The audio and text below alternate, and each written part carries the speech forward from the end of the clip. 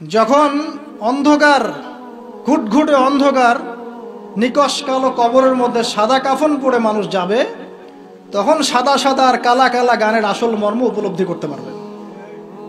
যখন সাদা কাফন পরে অন্ধকার, নিকশ কালো অন্ধকার কবরে মানুষ যাবে না, ওই মোমেন্ট যখন মুনকার এবং নেকিরের সাথে দেখা হবে, নাকিরের সাথে, মালাকুল মৌতের সাথে সাক্ষাৎ হবে তার আগে, লাশ নিয়ে যাবে আর সে বলবে, কোথায় নিয়ে যাচ্ছ আমাকে? কোথায় নিয়ে যাচ্ছ? ভয়ে আটকে উঠবে। মালাকুল মৌতের চেহারা দেখেই ভয়ে আটকে উঠবে।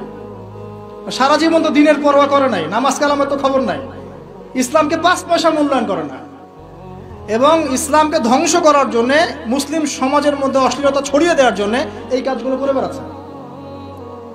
যখন এই অবস্থা তাদের হবে, এবং কবরে প্রশ্নগুলো করা হবে, এবং হাতুড়ি দিয়ে পিটানো হবে, সত্তর গজ মাটির নিচে যখন আত্মা যাবে সিজিনে তখন বুঝে আসবে কোনটা সাদা ছিল আর কোনটা কালা ছিল। মানুষ মুসলিমদের স্পেশালি যুবকদেরকে, যুবক, যুবতী, আমাদের ইয়াং টিনেজারদেরকে এমনভাবে ইনফ্লুয়েন্স করা হচ্ছে এগুলো দিয়ে। মনে হচ্ছে পর্নই আসল জগৎ। মনে হচ্ছে এই মাদকই আসল জগৎ, এই সিগারেটটি আসল, এই গান, বাজনা মিউজিকই আসল, এই কনসার্টগুলোই আসল। এবং এগুলোতে যেহেতু মজা আছে, একটা লাজ্জাত ফ্লেভার পাওয়া যায় ইনস্ট্যান্ট এই জন্য যুব সমাজ দ্রুত এর পিছনে দৌড়ানো শুরু করছে। আর একটা যুবকদেরকে যখন আপনি একটা জাতির যুবকদেরকে মেরুদণ্ড ভেঙে দিবেন, তখন এই জাতি কখনোই আপনার এগেনস্টে দাঁড়াতে পারবে না। সুদূর প্রসারী নীল নকশা এটা, মুসলিম যুবকদেরকে আল্লাহর দিন থেকে সরিয়ে দেওয়ার জন্য। এদেরকে প্রমোট করার মিডিয়ার অভাব নাই, পত্রিকার অভাব নাই। তাহলে আপনি কি করবেন এখন?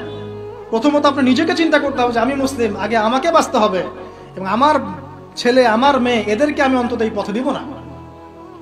যদি এদেরকে পড়ানোর কোনো প্রতিষ্ঠানই না পাই, নিজে প্রতিষ্ঠান করে ওকে পড়াবো ইনশাআল্লাহ।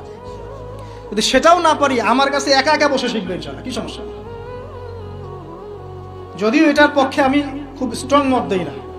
আমাদেরকে চেঞ্জ করতে হবে সিচুয়েশন যদি দেখেন কোনো অপশনই খোলা নাই, সবখানেই ফেতনা, সবখানেই ফাঁসা কি করবেন? আপনার ছেলে মেয়েকে তো পড়াতে হবে।